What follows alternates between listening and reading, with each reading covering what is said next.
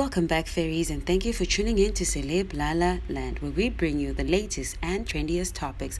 Simphiwe Ngema writes a heartfelt birthday letter to baby daddy Tino. Okay, so I'm shooting this now because I know you have some crazy plans for your birthday, so I thought I should just do it before then. So I wrote you a letter. Handwritten. See? Okay, so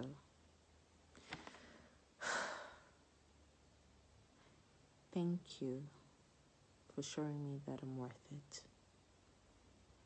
Thank you for teaching me how to live, how to love, and how to dream again. For understanding that loving me is not easy because it comes with the challenges of the world. Understanding that I have burdens to carry. And that I don't need you to help me carry them.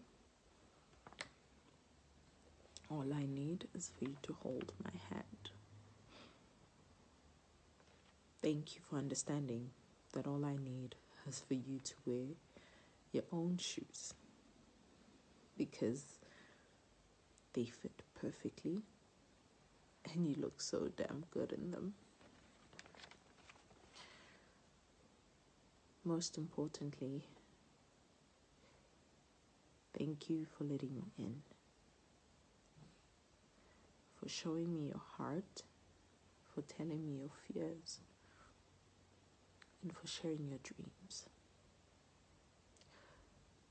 I don't know what tomorrow holds.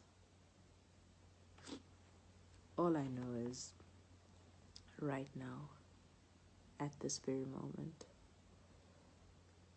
I love you more than I've ever loved before. And my daily prayer is that God grants you the desires of your heart unconditional love, peace that surpasses human understanding and joy in abundance. Happy birthday, my love.